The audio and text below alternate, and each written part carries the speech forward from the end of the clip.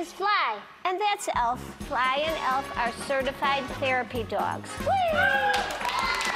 are at the Douglas Center, a sheltered workshop for adults with special needs. I will hide this for Fly. Find it. She's sniffing. She found it. We love Fly and Elf. Hey, check out this song.